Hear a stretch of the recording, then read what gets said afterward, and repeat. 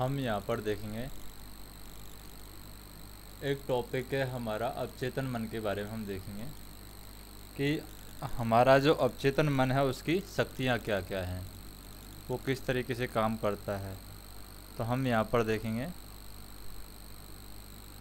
अवचेतन मन की शक्तियाँ। क्या क्या शक्ति है अवचेतन मन के अंदर? जैसे आपके अवचेतन मन की शक्ति है, अतुलनीय और असीमित है। आपका अवचेतन मन आपको प्रेरित करता है और मार्गदर्शन देता है। यह यादों के भंडार से तस्वीर और दृश्य निकाल कर लाता है।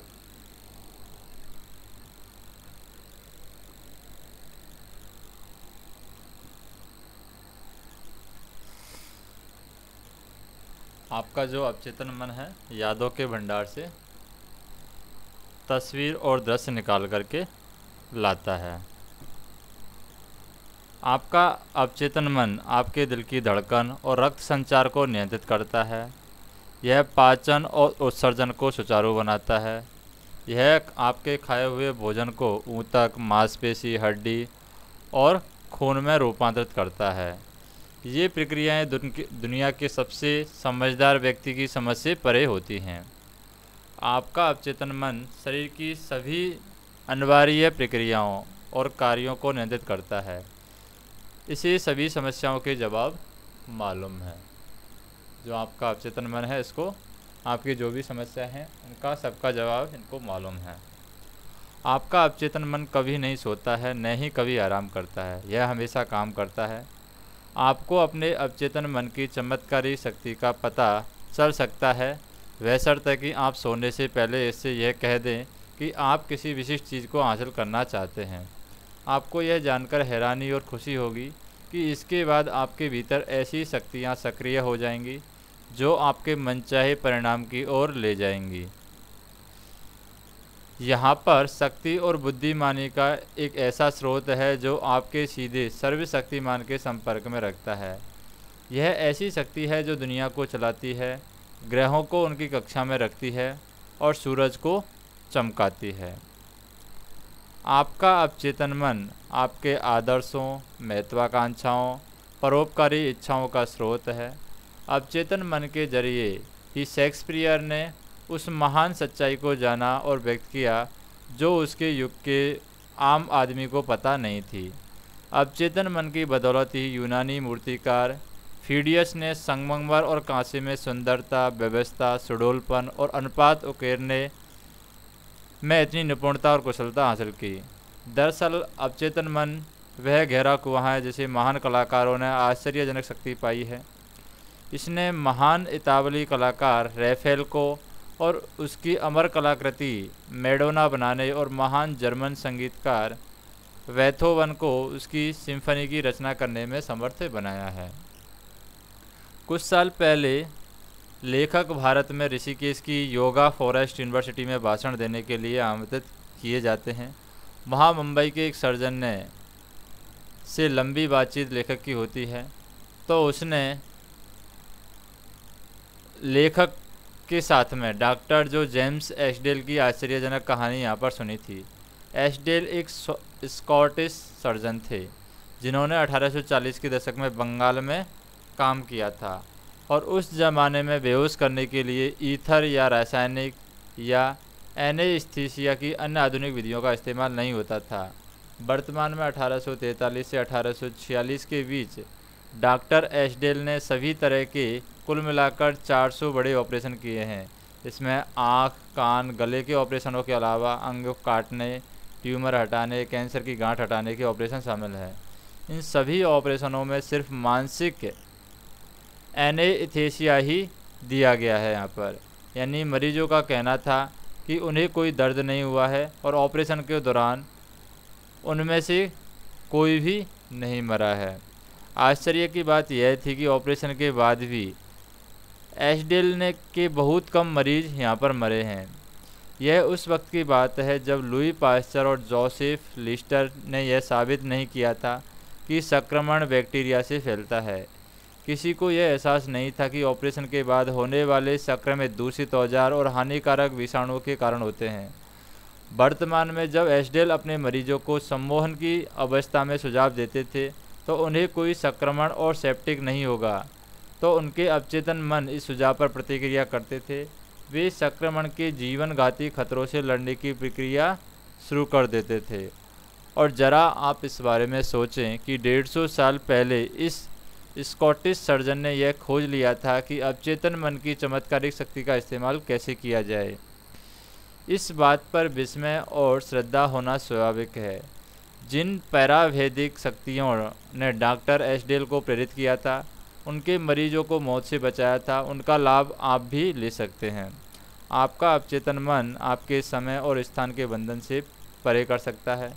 यह आपका हर दर्द और कर्ज से मुक्त कर सकता है। यह आपको सभी समस्याओं से जवाब दे सकता है, चाहे वे जो भी हों। आपके भीतर ऐसी शक्ति और ज्ञान है जो आपकी बुद्धि से परे हैं, और आप इसके चमत्कार पर हैरान हो सकते हैं। ये सारे अनुभव आपको अवचेतन मन की चमत्कारी शक्तियों में यकीन दिलाएँगे और खुशी से भर देंगे। आपका अवचेतन मन आपके लिए जीवन की पुस्तक है। तो हम बात करते हैं यहाँ पर। अवचेतन मन है जो हमारा, वो हमारा जीवन की पुस्तक है। जीवन की पुस्तक।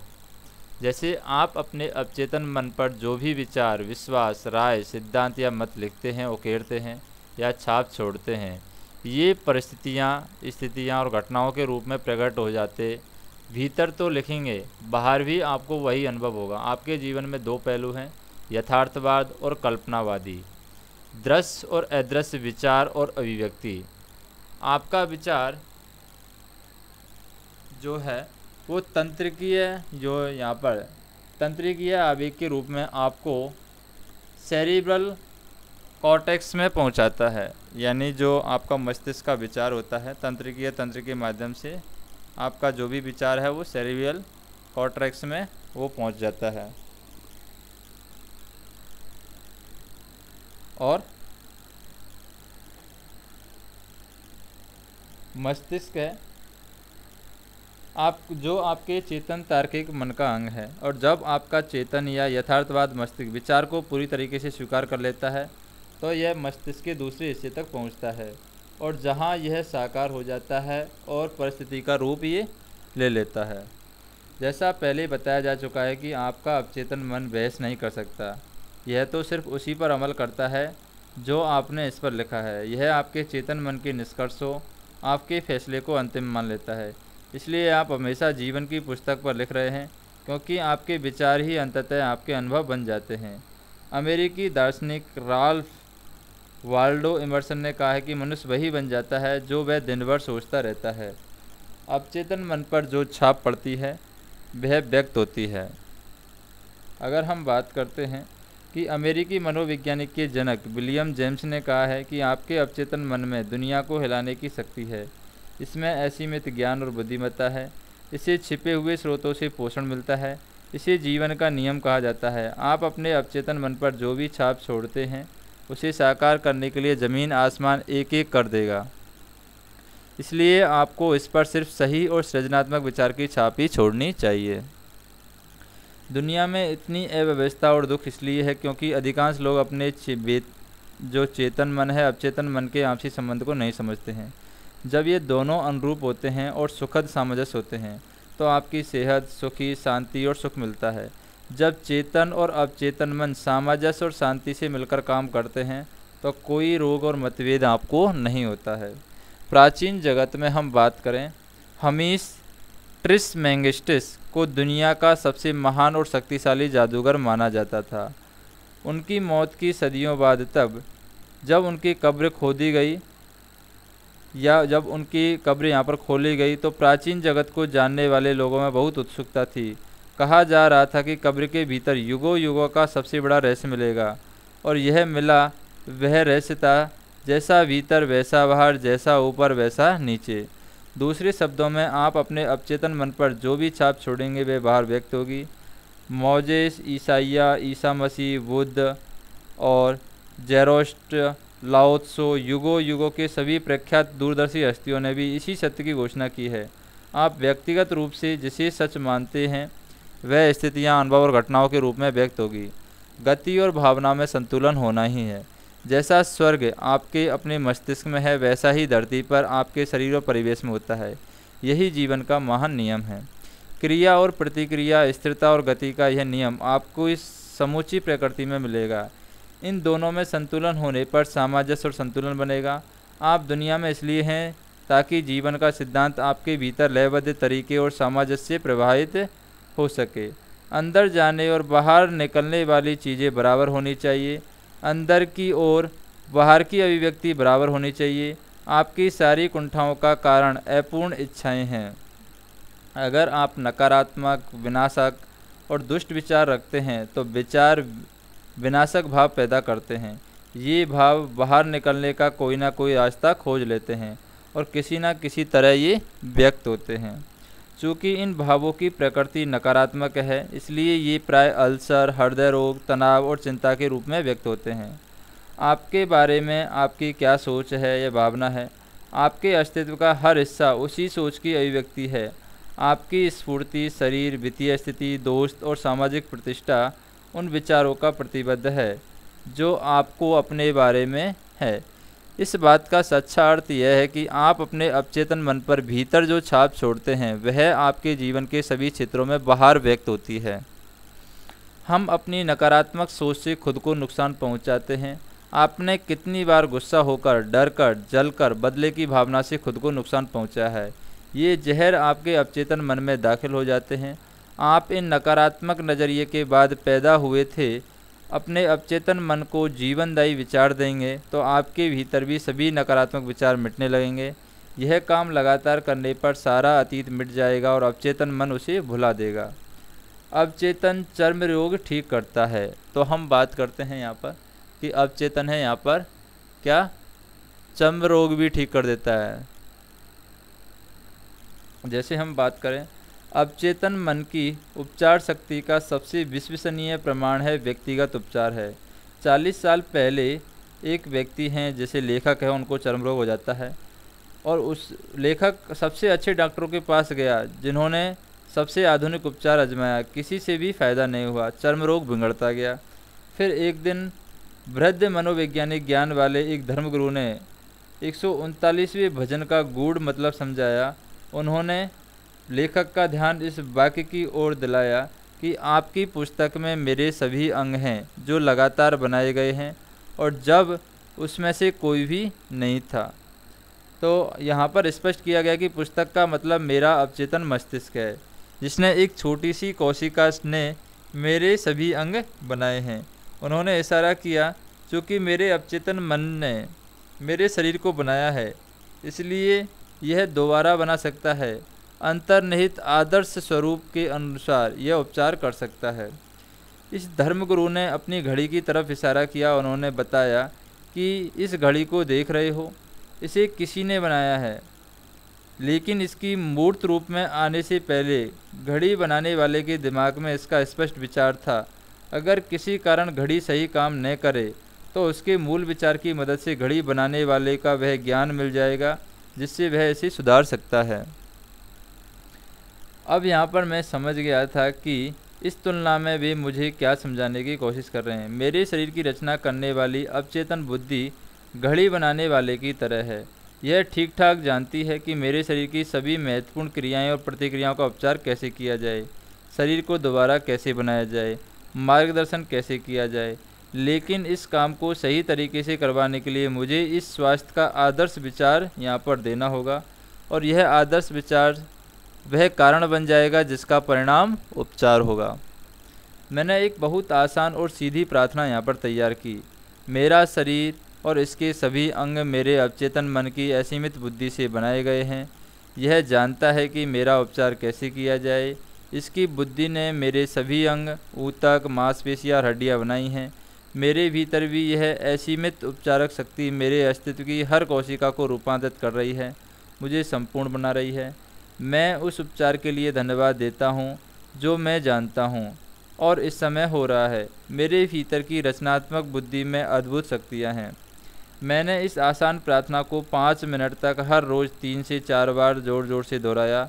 लगभग तीन महीने बाद मेरी त्वचा पूरी तरीके से ठीक हो गई और चर्म रोग यहाँ पर गायब हो गया। मेरा डॉक्टर यहाँ पर चकरा गया, लेकिन मैं जानता था कि क्या हुआ था। मैंने अपने अवचेतन मन को संपूर्णता, सुंदरता और पूर्णता की जीवनदायी रूपरेखा दे दी थी। इसने मेरे अवचेतन मन से उन नकारात्मक विचारों और छवियों को बाहर निकाल दिया, जो मेरी सारी समस्या का कारण थी। आपके शरीर पर कोई चीज़ तब तक प्रकट नहीं होती है, जब तक कि यह पहले आपके मस्तिष्क में न हो।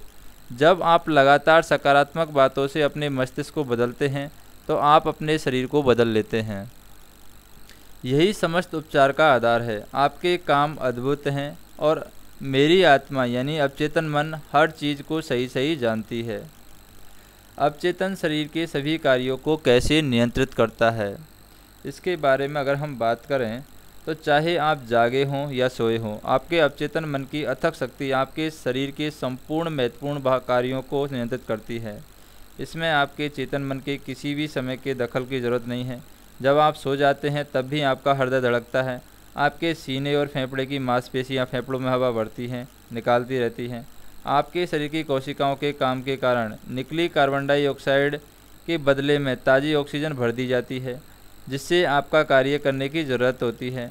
आपका अवचेतन मन आपकी पाचक क्रियाओं और ग्रंथियों के स्राव के अलावा आपके शरीर के अन्य सभी अद्भुत जटिल कार्यों को नियंत्रित करता है और यह सब लगातार होता रहता है, चाहे आप जाग रहे हों या फिर सोए हुए हों। अगर आपको अपने शरीर के सभी काम चेतन मन से करने पड़ें तो आप निश्चित ही मशीन असफल हो जाएँगे। आप शायद बहुत जल्दी मर जाएँगे। ये प्रक्रियाएँ बहुत जटिल हैं। आपस में बुरी तरीके से गुथी हुई हैं। हार्ट लंग मशीन, जिसका इस्तेमाल ओपन हार्ट सर्जरी में किया जाता है आधुनिक चिकित्सा तकनीक का चमत्कार है। वर्तमान में इसके काम आपके अवचेतन मन की तुलना में बहुत आसान है। जो साल में तीन सौ पैंसठ दिन काम करता है और वह भी 24 घंटे। मान ले आप किसी सुपरसोनिक जेट लाइनर में बैठकर समुद्र के ऊपर से गुजर रहे हैं और कॉकपिट में घुस जाएँ। निश्चित ही आपको हवाई जहाज़ उड़ाना नहीं आता हो, लेकिन आप पायलट का ध्यान भटका करके परेशानी ज़रूर खड़ी कर सकते हैं। इस तरह से आपका चेतन मस्तिष्क शरीर को तो नहीं चला सकता, लेकिन वह इसे सही से करने के रास्ते में बाधा ज़रूर यानी बाधा ज़रूर बाधा की तरह काम ये ज़रूर करेगा जो अब मन है आपका। चिंता, तनाव, डर और निराशा, हृदय, फेफड़े, अमावस्या अमावस्या जो है, आंतों के सामान्य कार्यों में बाधा डाल सकती है। डॉक्टर अब इस बात पर ध्यान देने लगे हैं कि तथाकथित तनाव संबंधी बीमारियाँ कितनी गंभीर हैं। कारण यह है कि तनावपूर्ण विचार आपके अवचेतन मन के सामंजस्यपूर्ण काम में बाधा डालते हैं। जब आप शारीरिक और मानसिक रूप से विचलित महसूस करते हैं तो आप जो सबसे अच्छा काम कर सकते हैं वह है शिथिल होना, आराम करना, विचार प्रक्रिया को रोक देना। अपने अवचेतन मन से बात करें, इससे कहें कि वह शांति, सामंजस्य और देवीय विधान को स्थापित करें। ऐसा करने पर आप पाएँगे कि आपके शरीर की समुची कार्य प्रणाली दोबारा सामान्य हो गई है। अपने अवचेतन मन से अधिकार और विश्वास के साथ बोलें, यह आपके आदेश का पालन करके प्रतिक्रिया करेगा। आप अपने अवचेतन से अपने लिए कैसे काम करवा सकते हैं? पहली बात तो यह एहसास करना कि आपका अवचेतन मन हमेशा काम करता है, यह दिन रात सक्रिय रहता है, चाहे आप इस पर काम करें या नहीं करें। आपका अवचेतन आपके शरीर का निर्माता है, लेकिन आप इस खामोश प्रक्रिया को चेतन रूप से देख या सुन नहीं सकते। आपका पाला हर बार अपने अवचेतन मन के बजाय अपने चेतन मन से पड़ता है। बस अपने चेतन मन से सर्वश्रेष्ठ की आशा करते रहें और यह पक्का करें कि आपकी आदतन विचार अच्छी, सुंदर, सच्ची, न्यायपूर्ण और सद्भावपूर्ण चीज़ों पर केंद्रित करें। अपने चेतन मन का ध्यान रखें। दिल में जान लें कि आपका अवचेतन मन आपके ही आदतन विचारों के अनुरूप परिणाम दे रहा है और व्यक्त कर रहा है और परिस्थितियाँ बना रहा है। याद रखें, जिस तरह पानी उस पाइप का आकार ले लेता है, जिसमें वह बहता है, उसी प्रकार आपके जीवन सिद्धांत आपके विचारों की प्रकृति के अनुरूप प्रभावित होते हैं। दावा करें कि आपके अवचेतन की उपचारक शक्ति आपके भीतर सामंजस्य, सेहत, शांति, सुख, प्रचुरता के रूप में प्रभावित हो रही है। ज्ञानी व्यक्ति और प्यारे मित्र के रूप में इसकी कल्पना करें। दृढ़ता से यकीन करें कि यह आपके भीतर लगातार प्रवाहित हो रहा है। आपको सजीव बना रहा है, प्रेरित कर रहा है, समृद्ध बना रहा है। यह इसी तरीके से प्रतिक्रिया करेगा जैसा आप यकीन करेंगे, वैसा ही आपको मिलेगा। अवचेतन का उपचारक सिद्धांत, आँखों की रोशनी लौटाता है। दुनिया के सबसे मशहूर उपचारक धर्मस्थलों में एक दक्षिण पश्चिमी फ्रांस का लूडेस है। लूडेस के चिकित्सा विभाग में बहुत सी फाइलें हैं, जिसमें चमत्कारी उपचारों का विस्तृत विवरण है। इसमें से एक है मैडम बायर का उपचार। मैडम बायर नेत्रहीन थी, उसकी चक्षु तंत्रिकाएँ क्षीण और बेकार हो चुकी थी। लूडेस आने के बाद अपनी आँखों की रोशनी लौट आई। उसकी जाँच करने वाले कई डॉक्टरों ने प्रमाणित किया कि चक्षु तंत्रिकाएँ अब अब भी बेकार थी, लेकिन उसके बावजूद वे देख सकती थी। एक महीने बाद दोबारा जाँच में पाया गया कि उसका चक्षु तंत्र दोबारा ठीक होकर सामान्य हो गया है। मुझे पूरा यकीन है कि मैडम बायर धर्मस्थल के पानी से ठीक नहीं हुई थी। उसका उपचार तो उसके ही अवचेतन मन ने किया था, जिससे उसके विश्वास पर प्रतिक्रिया थी।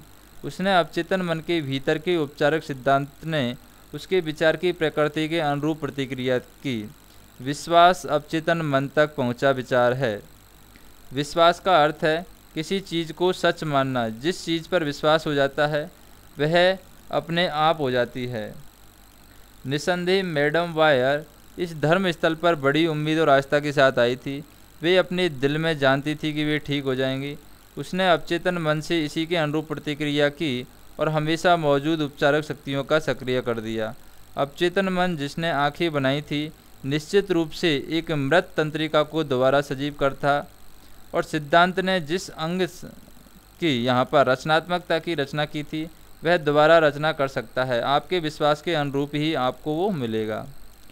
अपने अवचेतन मन तक पूर्ण स्वास्थ्य का विचार कैसे पहुँचाएँ? जैसे जोहन्सबर्ग दक्षिण अफ्रीका में एक मैथोडिस्ट पादरी से लेखक मिलते हैं। उन्होंने बताया, क्या बताया? उन्होंने बताया कि वे बुरी तरीके से यहाँ पर फैल चुके फेफड़े के कैंसर से कैसे उभरे? उन्होंने पूर्ण स्वास्थ्य के विचार को अवचेतन मन तक पहुंचाकर वह चमत्कारी परिणाम पाया है। मेरे पूछने पर उन्होंने मुझे इस प्रक्रिया का एक विस्तृत वर्णन भेजा। उसे मैं आपके सामने रख रखा हूँ। क्या विस्तृत विवरण भेजा था? दिन में कई बार मैं खुद को मानसिक और शारीरिक रूप से पूरी तरीके से शिथिल कर लेता था। मैं अपने शरीर से यह बोलकर खुद को शिथिल करता था कि मेरे पंजे शिथिल हैं, मेरे टखने शिथिल हैं मेरे पैर शिथिल हैं, मेरे अमावस्या की मांसपेशियाँ शिथिल हैं, मेरा दिल और फेफड़ा शिथिल है, मेरा सिर शिथिल है, मेरा पूरा अस्तित्व बिल्कुल शिथिल है। लगभग पाँच मिनट बाद मैं खुद को उन्नीदी अवस्था में पाता था और फिर मैं इस सत्य की घोषणा करता था कि ईश्वर की पूर्णता अब मुझमें व्यक्त हो रही है। संपूर्ण स्वास्थ्य का विचार अब मेरे अवचेतन मन में भर रहा है। ईश्वर ने मेरी जो छवि बनाई है, वह आदर्श छवि है। और मेरा अवचेतन मन ईश्वर की उसी आदर्श छवि के अनुसार मेरे शरीर को दोबारा बना रहा है। और इस पादरी के उल्लेखनीय उपचार हुआ, वे पूरी तरीके से ठीक हो गए। उन्होंने जिस तकनीक का इस्तेमाल किया, वह संपूर्ण स्वास्थ्य के विचार को अवचेतन पहुँचाने का सीधा और सरल तरीका था। स्वास्थ्य के विचार को अवचेतन मन तक पहुँचाने का एक और अद्भुत तरीका है अनुशासित और वैज्ञानिक कल्पना। मैंने लकवे के एक मरीज़ को बताया कि वह कल्पना से स्पष्ट तस्वीर देखें। वह अपने ऑफ़िस में चहल कदमी कर रहा था, डेस्क छू रहा था, फ़ोन का जवाब दे रहा था। वे सारे काम कर रहा था, जो वह सामान्य स्थिति में करता था। मैंने उसे बताया कि उसका अवचेतन मन संपूर्ण स्वास्थ्य की मानसिक तस्वीर को स्वीकार कर देगा। उसने खुद को इस भूमिका में झोंक दिया और उसने सचमुच महसूस किया कि वह अपने ऑफ़िस में लौट चुका था और वह जानता है कि वह अपने अवचेतन मन को एक मूर्त और निश्चित काम दे सकता है। उसका अवचेतन मन वह फ़िल्म थी जिस पर वह तस्वीर की छाप छोड़ी जा रही थी। उसने कई सप्ताह तक गहनता से तस्वीर देखी, फिर एक दिन टेलीफोन की घंटी उस वक्त बजी जब बाकी सब लोग बाहर थे। टेलीफोन उसके पलंग से बाहर फुट दूर पर रखा था। वर्तमान में वह जैसे तैसे इसका जवाब देने में कामयाब हो गया और उसी पल से उसका लकवा गायब हो गया और उसके अवचेतन मन की उपचारक शक्ति ने उसकी मानसिक तस्वीर पर प्रतिक्रिया की और उपचार यहाँ पर संभव हो गया। यह व्यक्ति एक मानसिक अवरोध से पीड़ित था, जिसने मस्तिष्क में उत्पन्न तंत्रिका आवेगों को उसके पैरों तक पहुँचाने से रोक दिया, इसलिए वह चल नहीं पाता था। और जब उसने अपना ध्यान भीतर की उपचारक शक्ति पर केंद्रित किया तो उसके एकाग्र ध्यान से शक्ति प्रवाहित होने लगी और वह दोबारा चलने लगा। जो भी आप प्रार्थना में मांगोगे, विश्वास रखने पर वह आपको मिल जाएगा। तो याद रखने लायक विचार यहाँ पर क्या क्या है? कि आपका अवचेतन मन आपके शरीर की सभी महत्वपूर्ण प्रक्रियाओं को नियंत्रित करता है और सभी समस्याओं का जवाब जानता है। सोने से पहले अपने अवचेतन मन में कोई विशिष्ट आग्रह करें, उसकी चमत्कारी शक्ति देखें। आप अपने अवचेतन मन पर जो भी छाप छोड़ते हैं, वह परिस्थिति, अनुभव और घटनाओं के रूप में व्यक्त होती है। इसलिए चेतन मन में मौजूद विचारों के बारे में सतर्क रहें। क्रिया और प्रतिक्रिया का नियम शाश्वत है, इसका विचार क्रिया है और उस विचार पर आपका अवचेतन मन स्वतः प्रतिक्रिया करता है। अपने विचारों पर नज़र रखें। सारी कुंठा, अधूरी इच्छाओं के कारण पैदा होती है। अगर आप बाधाओं, विलंब, मुश्किलों पर ध्यान केंद्रित करेंगे तो आपका अवचेतन मन उसी के अनुरूप प्रतिक्रिया करेगा। इस तरह आप अपनी ही भलाई को रोक लेंगे। जीवन का सिद्धांत आपके भीतर लयबद्ध और सामंजस्यपूर्ण तरीके से प्रभावित हो सकता है। वैसर कि आप चेतन रूप से दृढ़ता से कहेंगे कि मैं विश्वास करता हूँ कि जिस अवचेतन मन ने मुझे इस इच्छा दी है, वही इस मेरे द्वारा पूरा कर रहा है। इससे सारे संघर्ष खत्म हो जाएँगे। आप चिंता, तनाव और डर के कारण अपने हृदय और फेफड़े एवं अन्य अंगों की सामान्य लय को गड़बड़ कर सकते हैं। अपने अवचेतन में सद्भाव, सेहत और शांति से विचार भरें। इससे आपके शरीर की समुची कार्य प्रणाली दोबारा सामान्य हो जाएगी। अपने चेतन मन में सर्वश्रेष्ठ की उम्मीद करते रहें। आपका अवचेतन मन निष्ठा से आपके आदतन विचारों को साकार कर देगा। अपनी समस्या के सुखद अंत या समाधान की कल्पना करें और उपलब्धि के रोमांच को महसूस करें। आप जो भी कल्पना करेंगे या महसूस करेंगे, उसे आपका अवचेतन मन स्वीकार करके परिणाम में बदल देगा।